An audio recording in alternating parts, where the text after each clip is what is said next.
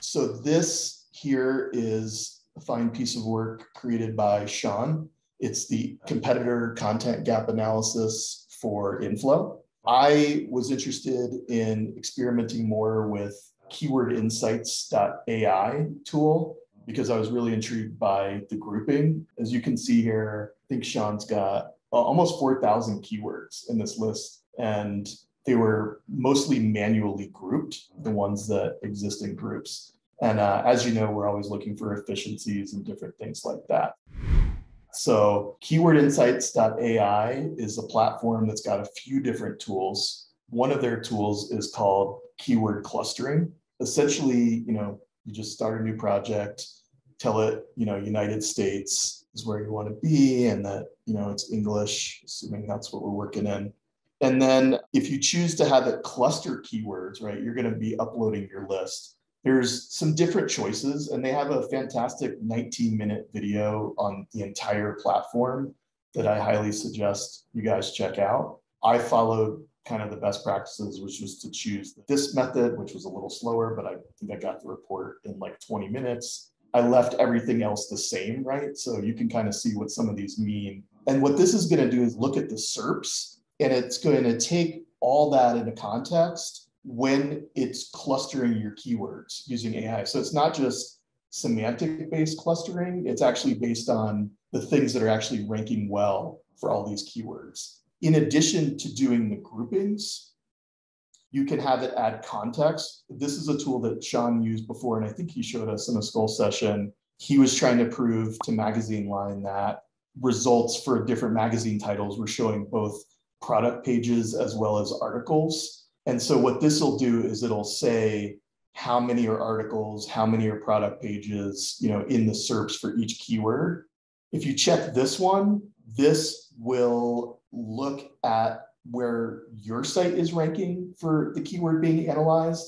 That is then used to help calculate an opportunity score. So in other words, if you already rank number one for a keyword, then there's no opportunity, right? But if you rank number two, you've got the opportunity to move up to number one, which can be pretty significant. So, you know, you could do that. And if you want to, you can also have it suggest titles using AI. Each of these different things cost more credits. And in the little that I've played with it so far, I would never use this on like an initial run because we're just not at that stage. Like we're still trying to figure out what content hubs and topics and things we're going to use but rank is really helpful and context can be helpful. It's also something you can run later on a smaller set of keywords so that it costs less credits, if you will. Basically, what I did was I just copied the keywords and the volume that was in the original spreadsheet. It emailed me 30 minutes later saying your report's done, and it was a Google Sheet with five tabs. This is kind of the simplest view, and this is what's called the cluster data tab. So basically, it's got one row for each cluster that the tool came up with based on the list that was uploaded, and then a comma delimited list of each of the keywords that were in that grouping. Another way to look at this is pivot table by keyword. So here's the cluster, and then here's each keyword basically on its own row. And this is where you start to be able to look at things like opportunity score. For example, the biggest opportunities for us in terms of these clusters identified was for content strategy. And I don't know exactly what the number represents. It's probably something like volume or something like that. But if nothing else, it's just a score relative to each other. Now we can start going through it and saying, you know, this one kind of looks ridiculous. We're not going to go after this on the blog, or we're going to go after this differently. Or, hey, this looks like a really good idea, so on and so forth that's kind of how much I got through it already. It does have this hub and spoke suggestion as well. It's got some other things like informational intent, fragmented intent, right? Here's where, you know, it says the number of articles and product slash category pages that are involved. So I thought it was pretty cool. And again, all you need is a list of keywords, which it does have a keyword research tool. I haven't really played with it, but it's there. And you can pull things from different places and, and dig into people also ask and all that kind of stuff. And then there's also a content brief tool as part of this. And this tool is interesting, takes a little bit to load.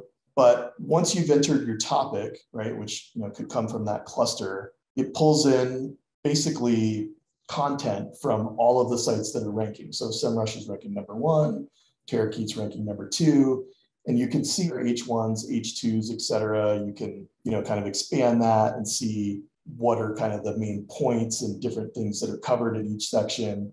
And you can actually then move them over to this editor over here. You know, you can say, okay, um, this is going to be an H1. You could then edit it so it's not the same. If you click this, it generates AI content to just kind of add more context. But that AI content is actually based on these SERPs. So that can be helpful. I, have seen some kind of ridiculous stuff that it writes. I certainly wouldn't use it to write an article, but it may be helpful in that way. You can also pull things into the brief from people also ask, Reddit questions, you know, just kind of dig these, move these over to kind of make your outline. And then finally, if you do use the content brief tool, the title AI feature shows up again here just for this topic.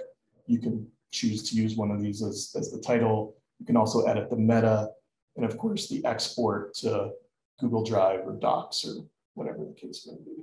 I don't know. I thought that was pretty cool. Could save a lot of time.